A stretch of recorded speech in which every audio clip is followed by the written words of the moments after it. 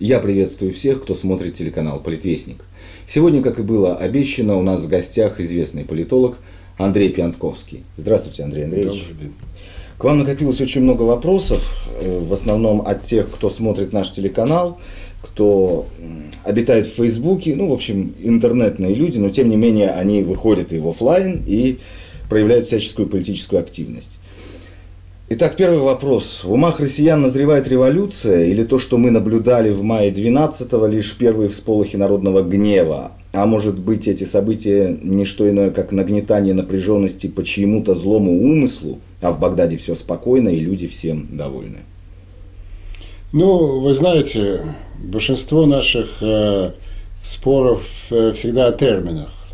Можно, один назовет это революцией, другой не знаю, сполохами народного гнева, но что бесспорно, э, что можно отмести, по крайней мере, одну из версий относительно злого умысла, а события 6 мая были неожиданны для всех, включая их организаторов. Я это могу вам сказать, э, как человек довольно близкий к оргкомитету.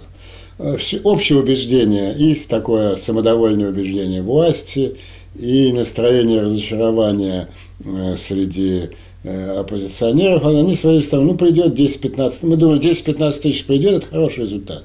Это сохранить э, вот, ядро оппозиции, тех людей, которые вышли в октябре, в марте, в, марте, марте, ну в марте же меньше было. Уже. Да, конечно. 15, Все уже подумали, ну что. Ну да, выше все кончилось, да, проехали как mm. бы, да, 15 тысяч выше. Но результат был совершенно другой. И он удивил всех, он ответил, э, к вечеру 6 э, мая мы знали э, ответы на два очень важных вопроса. Первое, сошла ли на нет волна протеста? Безусловно, нет, не сошла.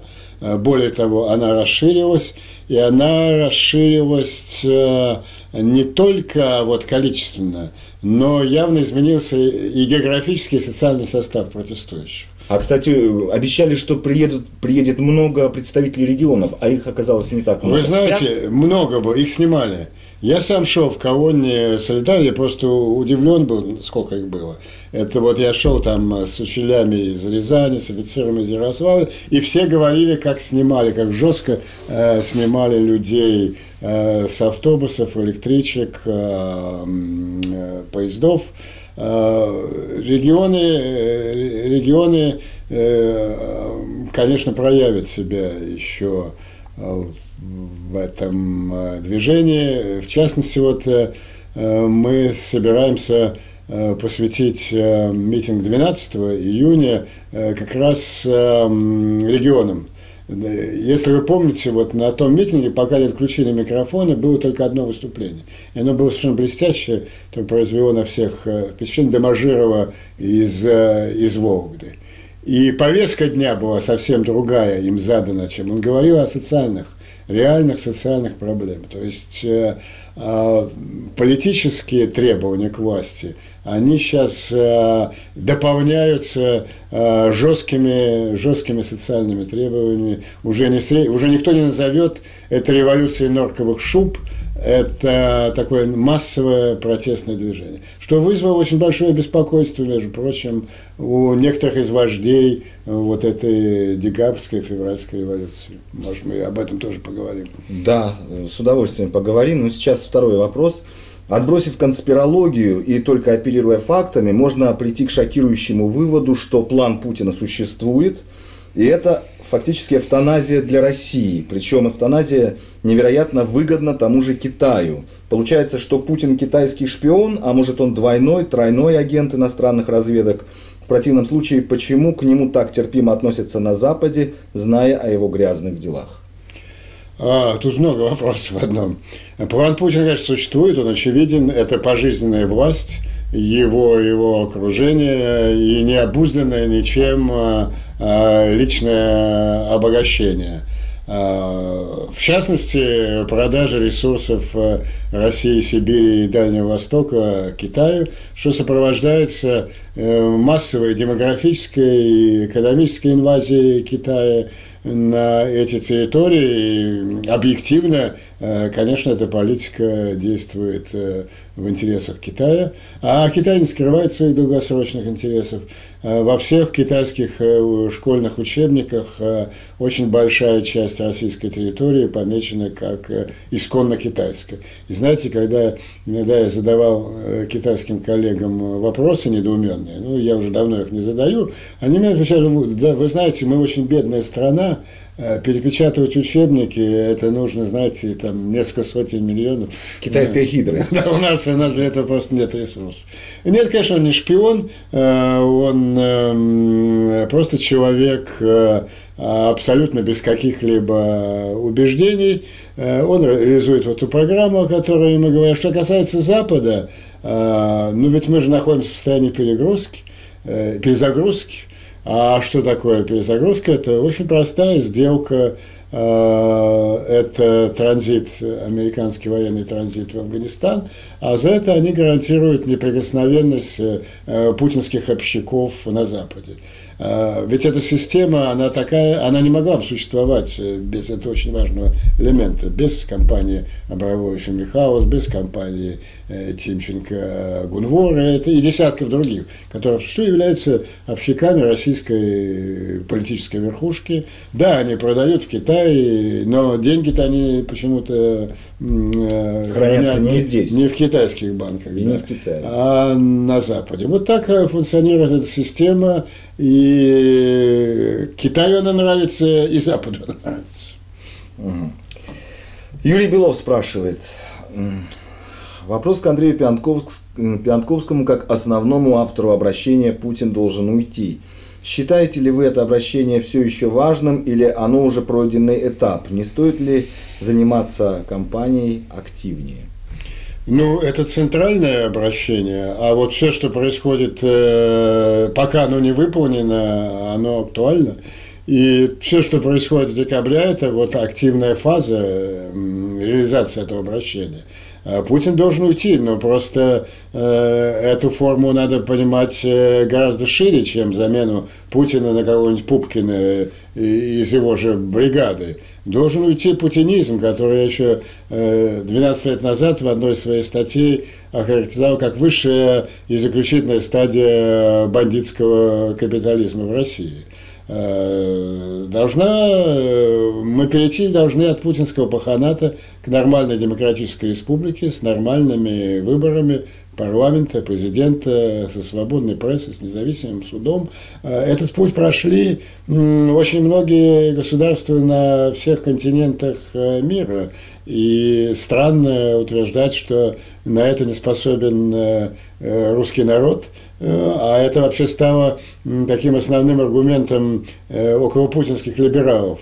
Э, что, знаете, вот Путин, может быть, это и не лучший вариант, но не дай бог, он уйдет, и свободные выборы, выберут каких-нибудь ужасных коммунистов и нацистов. Это лучший из всех зол. Это, это последняя линия обороны Путина. Вот вы посмотрите, когда бросили, там Сурков после первого митинга собрал всю эту Э, пропагандистскую сволочь от Радзиховского до Шевченко, Кургиняна. И всем им даны были указания работать с разными аудиториями, скажем, Радзиховский с либеральной, э, Кургинян державно-патриотический. И обратите внимание, два человека, э, они очень не похожи, начинали они с одного и того же. Да, извините, Путин это, ну не будем произносить, что.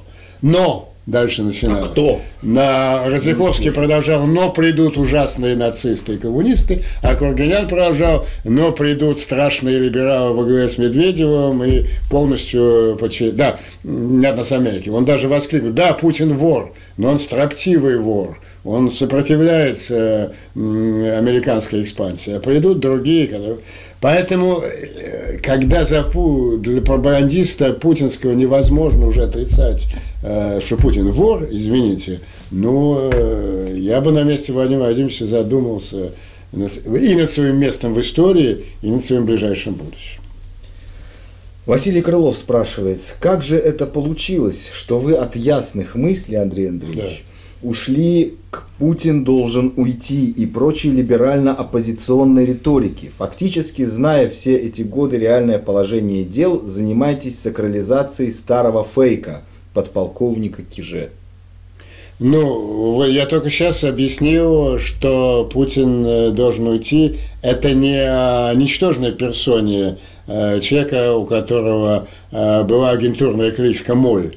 Это о системе сращивания денег и власти, которая была же рождена не при Путине, она возникла при Ельцине, Помните знаменитое письмо 14 олигархов, знаменитое интервью Березовского, мы семь самых богатейших людей России наняли Чубайса, мы обеспечили победу Ельцин, теперь мы должны идти в правительство и получать э, свои дивиденды. Вот э, где родилась эта система, а Путин был просто мелким, ничтожным э, воришком при Собчаке в путинской мэрии. А потом, в 1999 году, когда стало ясно, что эту систему уже нельзя защитить на свободных выборах, они призвали охранников своих из КГБ во главе э, с Путиным э, сохранять эту систему, обеспечить безопасность Ельцина э, и всех э, олигархов. А для того, чтобы превратить этого, как было сказано, Киже, э, совершенно верно, в национального героя, э, была развязана чеченская война. А чтобы война стала популярной, были взорваны дома, был организован поход э, агента ГРУ Басаева э, в Дагестан. Очень много э, чего было сделано. А Путин не изменился, он это продолжил, эту систему. Ну, там он заменил парочку олигархов, которые его не устраивали. Но основная эта масса осталась, и главное, пришло очень много других путинских. Андрей Андреевич, я... Мы говорим, еще раз повторю, отвечу, угу. это не, не, не о персоне Путина речь идет. Я очень многим задаю этот вопрос, и все дают разные ответы Нет. совершенно. Э, у любого человека для того, чтобы он жил, продолжал жить дальше, должна быть какая-то, ну, какое-то моральное оправдание собственного существования, да, некая философия собственного существования. Как вы считаете, философия путинизма в чем? Ну, мне трудно залезть э, в душу человека, а, но вы правильно почему? Это у каждого человека существует, у самого законченного злодея а, существует некая психологическая защита, некая концепция, модель мира, в которой он э, объясняет там законность, моральность, справедливость своих действий. Ну, я думаю, что э, Путин частично верит Э, в свою пропаганду э, о том, что были чудовищные 90-е, а вот он пришел, он навел порядок.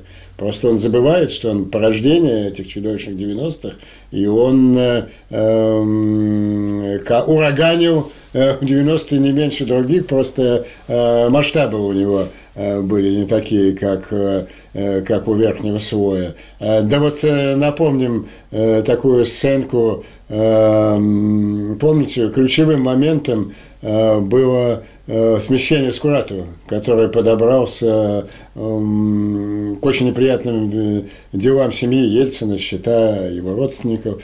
Но вы помните, как это было сделано? Подбросили ему девушку определенного поведения. Все это было заснято. Но разразился большой скандал там Дважды Совет Федерации отказывался Скуратова уволить. И вот э, подполковник Путин э, на экранах телевизора докладывал, что он провел экспертизу. Да, действительно, это половые органы Скуратова на пленке. А, не краснее, спокойно, он служил этому режиму. Сейчас он верит, сейчас он все время повторяет что, э, вот этот миф о э, чудовищных 90-х. Э, лихих. Лихих, которые, так они были продолжены им. И второй миф, в который он тоже, наверное, немножко поверил, что вокруг враги, которые хотели, натовские танки подползают к российской границе, американцы хотят расчленить Россию, отобрать ее богатство, которое все время переводят. Даже два, два потока постро, построил, северный, гонит, северный и южный, чтобы гнать туда было э, сподручно. А вот он, Путин, э, защищает. Понимаете, когда сто раз повторяется одно и то же, в это начинаешь верить, э, тем, особенно вот в эту э, пропаганду о Западе, который вот-вот расчленит Россию и надругается над ее высочайшей духовностью. А вот последние исследования социологические показали, что вот по всем внутренним вопросам пропаганда полностью обвалилась. Так Путин вор, это повторяют даже, начиная с Курганяна и Радзиковского. Почему им задано, дано задание начинать с этого? Потому что это уже спорить невозможно. Но вот э, байкам про то, что нас вот-вот расчленят американцы, в это верит сейчас большая, большая часть населения. Ну, 24 часа э, вдавливается э, по телевидению. Ну вот я думаю, что немножечко в это верит и Путин. Ну, вообще, говоря, чужая душа потемки. Александр Гнездилов спрашивает, последние лет 10 вы неоднократно предсказывали скорый конец нынешнего режима, но пока ВОЗ и ныне там. Почему эти прогнозы не сбываются? Ну, скоро я никогда не предсказывал. Все, что я предсказывал, можно. Собрано в моей книге «Третий путь к рабству». Э, можно ее почитать. Э, она и в интернете висит. Но то, что этот режим э, не жизнеспособен, а самое главное, он несовместим с жизнью России, это сейчас очевидно стало большинству моих соотечественников. Понимаете, у каждого авторитарного режима есть примерно похожий цикл развития. В основе каждой авторитарной системы лежит какой-то изначальный миф – Например, в основе 70-летнего коммунистического режима в России был миф о Великой Октябрьской революции, о царстве справедливости. Это была действительно такая ложная, но достаточно благородная идея, которая увлекала миллионы людей и миф продержался 70 лет. В основе путинизма, такого мелкого симулякра этого большого, лежал миф о офицере спецслужб, который защищает нас от террористов, взрывающих наши дома. Как этот миф был сконструирован, мы уже немножко этого коснулись. Штирлиц 21 века. Да, да. Ну вот э, вершиной коммунистического мифа была э, победа э, Советского Союза во Второй мировой войне. А вершиной скажем, путинского мифа, это, я не знаю, что, маленькая победоносная война с Грузией. Вот это все показываем. А потом э, э, исчерпывается энергия этого мифа, э, становится очевидна его ложь, и он вступает в стадию гниения и затухания. Эта стадия э, путинского режима сейчас, она абсолютно, абсолютно очевидна.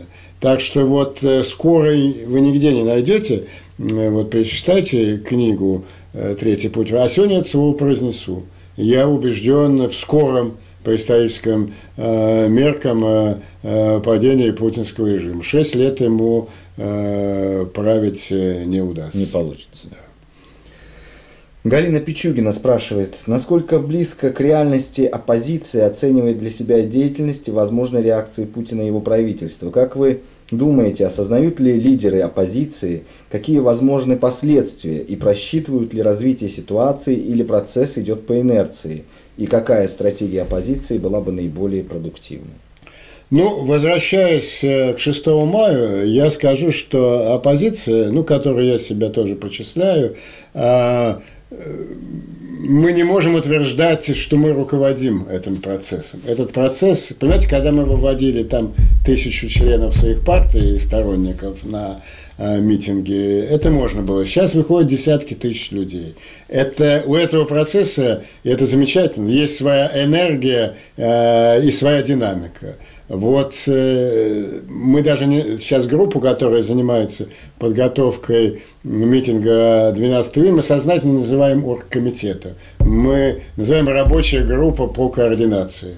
У нас нет амбиции вот, э, руководить э, движением та, такого масштаба, когда оно начинает вовлекать уже широкие массы людей. Но как-то аранжировать помогать инфраструктурно этому процессу, вот в этом эм, и мы видим э, свою задачу. Что касается действий власти, действия власти могут только одни. Э, это закручивание гаек и подавление этого силой. э, протеста. Собственно, это было, э, и я говорил о двух уроках шестого. Первый урок – это то, что не угас, он только расширяется. А второе, что ответ будет силовой. То есть Путин будет сопротивляться до конца. Ну, такой разъяренный слон в посудной лавке. Ну, у него нет стратегии выхода. Понимаете, он мог э, очень элегантно уйти и остаться очень богатым человеком, э, занимаясь какими-то замечательными вещами, например, руководя Международным олимпийским комитетом в 2004-2008 году. Сейчас э, поздно. Сейчас, ну, вся страна знает о его воровстве, знает, причем не так абстрактно, конкретно. Читайте книги Немцова и Милова, Э, читать э, очень интересное свидетельство инсайдера путинского круга, господина Колесникова, э, который сейчас на Запад. Ну, серьезные аналитики, и отечественные, западные, оценивают его личное состояние, то есть капитализацию тех структур, которые он, безусловно, контролирует, около 130 миллиардов долларов. Это делает его богатейшим человеком в мире. Ну и кроме таких чисто экономических преступлений, есть еще целый ряд очень неприятных вопросов, э, на которых подсудимому Путину придется отвечать. Это... Думаете, он будет подсудимым? Э, вот поэтому он и никогда не уйдет. Он никогда не уйдет э, добровольно, потому что он понимает, что оставшись без иммунитета президента государства, оставшись а, рядовым гражданином, он будет вынужден отвечать на очень неприятные вопросы. Так это же игра на вылет, на убой, как говорится. Получается, что если его уходят, то человек не жилец. Вот в той книге, которую я говорю, у меня есть такая статья «Воровской пароход», где предлагается, в общем, всей нашей элите подняться на роскошную яхту Идея красивая. Абрамовича и уехать. Понимаете, ни среди оппозиции э, нет э, э, людей, скажем, захваченных какой-то личной местью к Путину. Я его не знаю, и знать не хочу, у меня никаких личных проблем с ним не было, он меня не отбирал, нефтяные компании и так далее. Поэтому, конечно, мы предпочли бы, э, чтобы человек спокойно уехал за границу и на виллу Берлускони, к своей семье, которая давно на Западе, и наслаждался жизнью. Но ведь дело в том, что никаким гарантиям не поверит. Он задаст себе вопрос, ну хорошо, вот эти люди, которые сейчас вот формируют комитет национального спасения и предлагают мне свободный выход, да. Ну а кто будет в России через три месяца? Эм, вполне вероятно, где э, революция – это очень динамичный период. Там, через три месяца в другой страны будут другие люди, которые мне ничего не обещали. И где гарантия, что они там э, не потребуют э, у правительства Италии, например, если я буду отдыхать на Сардинии, экстрадиции моей. А опыт обращения с бывшими диктаторами – западных союзников, показывает, что там э, никаких комплексов э, нету, они относятся к ним как э, к отработанному материалу. Поэтому вот трагедия это в том, что он упустил, это его личная драма, но еще больше это трагедия страны, что он упустил, упустил возможность для того, что вот по-английски называется exit strategy, стратегия ухода в связи с тем, что вы только что сказали, очень многие задают один и тот же вопрос. Если протест будет шириться и обстановка будет накаляться, будет отдан приказ стрелять? Да, Путин отдаст приказ без малейших колебаний. Но э, настоящий вопрос в другом. А будут ли э, силовые структуры выполнять этот приказ? Это зависит, между прочим, от количества митингующих. Так называемый чеченский батальон или полк. Ну да, это, это все есть, есть какие-то. Но, понимаете, в чем дело? Во-первых, э, сначала скажу вещь, которая мне представляется бесспорной. На массовые репрессии этот режим не способен. Потому что массовые репрессии, ну, в масштабах Сталинского Советского Союза или гитлеровской Германии, они требуют громадного количества рядовых исполнителей.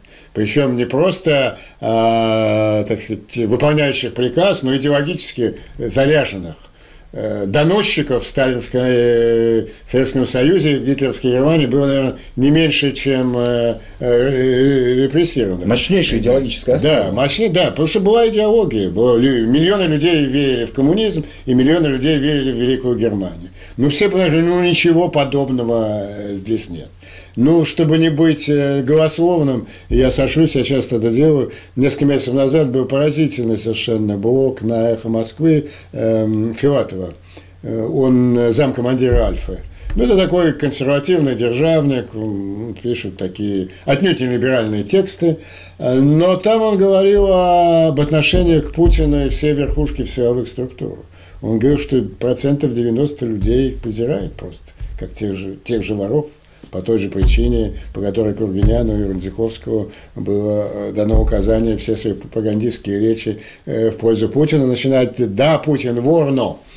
Поэтому массовых репрессий, для массовых репрессий не будет – что касается Путин, конечно, способен на такой приказ, но 10 э, тысяч будет демонстрантов, выполнят э, его приказ, там, я не знаю, тот же чеченский отряд или личная охрана, а 500 тысяч разбегутся.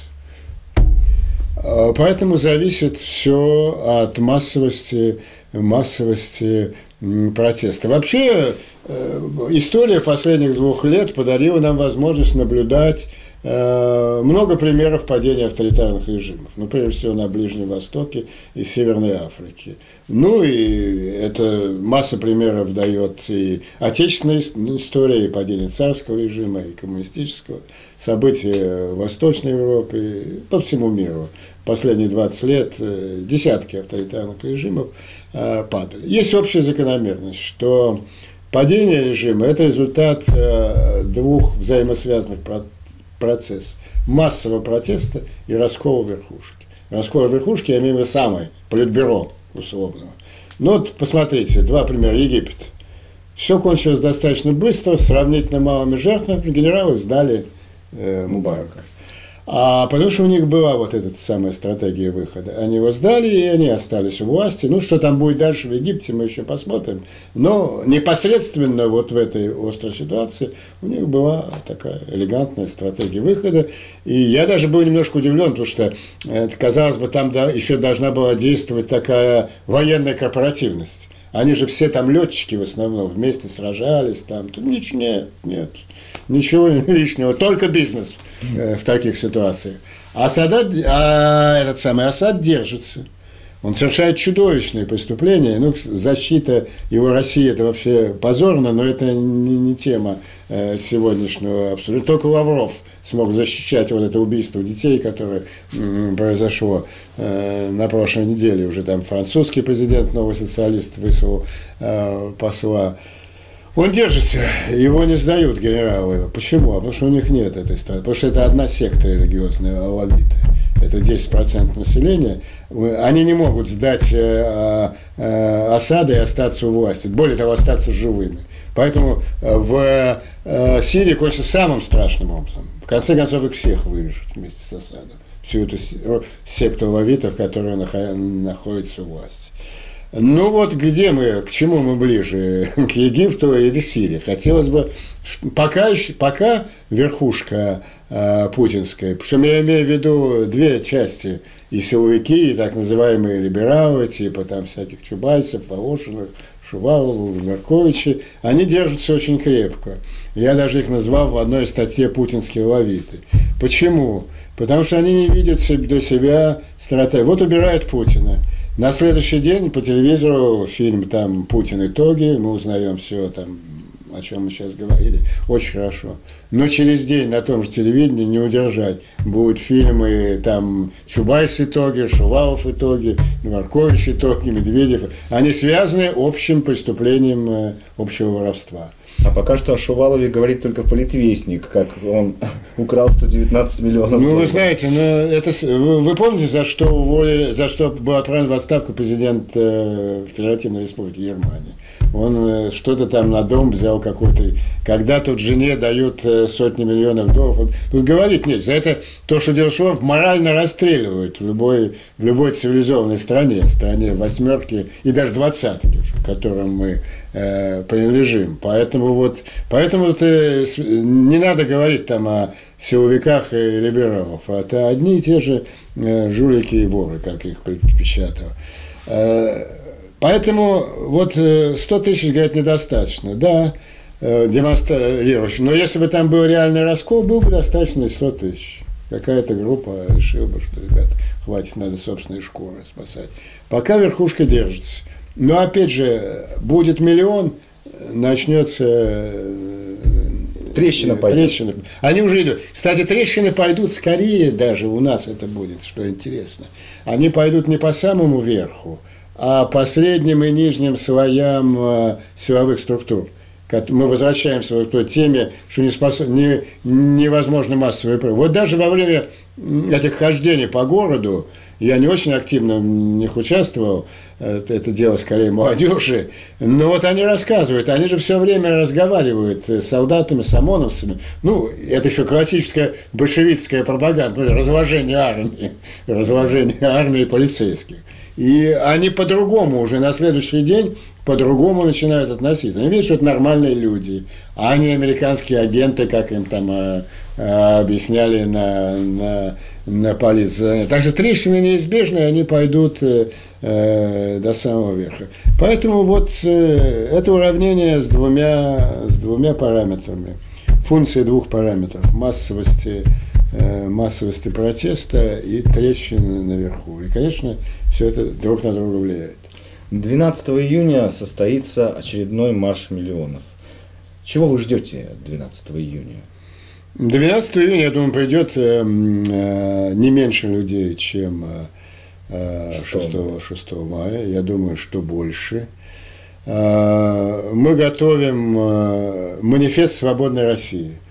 Он будет вообще э, Э, вообще представлен средством массовой информации в ближайшие буквально дни как бы привлечением на митинг, приглашением на митинг. На этом митинге э, вот как я надеюсь, 100 тысяч людей, которые туда придут, э, они примут этот манифест «Свободной России», который в самой жесткой форме требует немедленного ухода Путина от власти. Это я снова возвращаюсь к такому вопросу, Путин должен уйти. Ну и там достаточно подробно аргументироваться, во-первых, что дело не в Путине, а в этой системе, но избавление страны от этого э, персонажа – это, безусловно, абсолютно необходимое условие для демонтажа того режима правящей клептократии. В нем же дается ответ на вопрос, который очень часто задают, я даже удивлен, что вы мне до сих э, пор не задали. Хорошо, а что дальше? Вот э, день X. Я готовил. День X. Э, Путин, благодаря какому-то счастливому стечению обстоятельств, я сел там на воровской пароход, на личный самолет там Берускони, еще куда Нет Путина, все, он подал в отставку. Вот э, что дальше? Хаос начинается, без власти. Мы попытались достаточно подробно ответить на вопрос написав, прописав, ну, в самых общих чертах, разумеется, для такого документа, дорожную карту э, переходного периода. Задача э, в том, чтобы, понимаете, ювелирными средствами ликвидировать вот эту рапу, раковую опухоль путинизма и сохранить некую преемственность э, э, государственных структур. Э, Путин уходит в отставку, Э, по Конституции что при этом происходит? Премьер-министр становится исполняющим обязанности. Совершенно верно. Значит, Медведев э, становится исполняющим обязанности. Э, мы все понимаем недостатки этой фигуры. И, конечно, он не может быть реальным президентом России, но у него есть еще одна историческая возможность сыграть какую-то положительную роль во время этого э, переходного периода, двух-трех месяцев, как раз вот это сохранение преемственности государственных институтов. Есть Дума, вы скажете, она незаконная? Да, незаконная. Ну давайте притворимся, что она частично законная. Кстати, она будет вести себя замечательно. Она будет шелковая. Весь опыт. И даже единорос. Абсолютно. Они, эта партия развалится через несколько часов после ухода Путина в отставку. Э, половина этой фракции заявит, что они всегда внутри режима боролись с ним. И, там, и в душе или, были коммунисты. Да, ну они там или коммунистами, или справедливая Россия. Куда-то они разбегутся мгновенно. А, а тут и гадать не нужно. Так именно вели себя парламенты восточноевропейских стран во время революции. Хавел был избран э, президентом единогласно национальным собранием Чехословакии э, на 100% состоящим из коммунистов. То же самое было в Польше. Э, кстати, об этих вот клоновых партиях и правильно, это клоновые партии. Но тоже коммунисты, Жириновцы, Миронов, но во время революции они ведут себя по-другому. Первое правительство Мазовецкого, не, первое не коммунистическое, было избрано как раз потому, что такие же клоновые партии, они в коммунистической Польше назывались демократической крестьянской, они изменили Ярузельскому и голосовали за Мазовецкого. Главное уход э, вот этого поручика или подпоручика э, Киже. И дальше происходят некие технические э, операции в течение нескольких месяцев. Дума принимает э, новый избирательный закон э, демократический, формируется новая э, избирательная комиссия. Э, через три месяца проводятся уже новые демократические э, выборы, э, выборы в Думу. Очень много, много людей говорят и справедливо о необходимости учредительного собрания. Вот прямо но, хотел. Ну правильно. Я, мы, э, можно спорить по этому поводу, но мы предлагаем э, следующий путь. Для сокращения вот этого периода, согласитесь, что он все-таки такой болезненный и взрывоопасный, когда будет существовать, ну так, полулегитимная структура, тот же Медведев и эта Дума, нельзя растягивать этот период. Для сокращения можно вот на эту новую Думу и возложить функции учредительного собрания. То есть это вновь избранная Дума, она одна... А что такое учредительное собрание? собрание – это собрание, которое принимает новую конституцию. Фактически учреждает, учреждает новое государство, да. Вот эта новая Дума, избранная уже демократически, она принимает конституцию, и э, в которой, безусловно, будут резко сокращены э, полномочия президента, э, парламент будет играть решающую роль как в формировании правительства, так и возможности, возможности э, проведения парламентских расследований. Но вообще можно долго углубляться в эту тему. Я сказал одну принципиальную вещь. Э, как, ну, например, мне лично и многим моим коллегам э, видится вот этот вопрос распределения между президентом и парламентом. Вот наша идея в том, чтобы все экономические вопросы полностью вывести из компетенции президента. Экономикой занимается Дума и правительство.